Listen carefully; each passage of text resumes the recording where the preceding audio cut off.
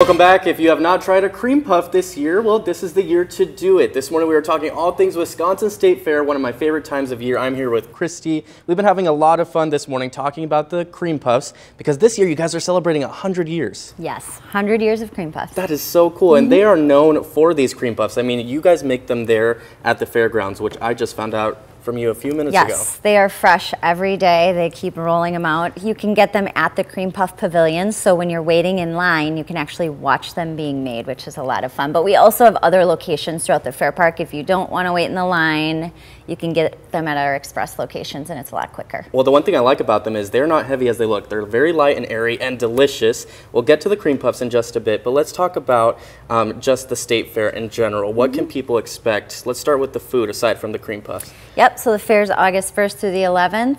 We have 100 new foods and beverages beyond the new cream puff flavors that we talked a little bit about.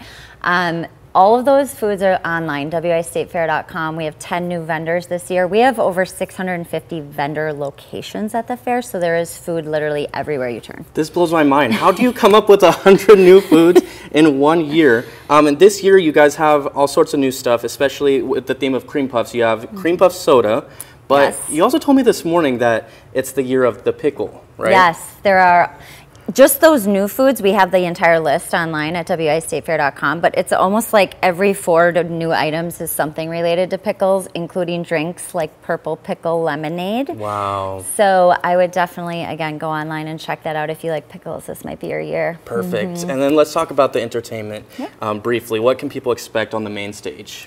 So we always have a very diverse lineup. TLC is coming this year. Um, Foreigner, their farewell tour if you're into classic rock.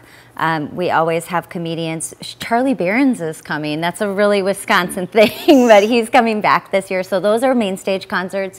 Those tickets include your fair admission, but we have 30 other stages at the fair as well. So those are all included in your $18 you ticket. Food, live entertainment, all sorts of great stuff. Now we want to show this cream puff right here because I'm actually going to try this. But you're telling me about a debate of the cream puff. Mm -hmm. What is it? Because I remember trying these last year, and they do get kind of messy. They are messy. So the debate is, I call it hamburger style, but where you just pick it up and dive right in. The problem with that is the cream tends to squish out the sides. Okay, so last so, year I was the messy one. So twist. Oh, twist. Twist, yes, like an Oreo. They'll pull that off. See, and then it's a lot easier to eat it that way. Okay, perfect. Mm -hmm. Let me take a bite. These look absolutely delicious.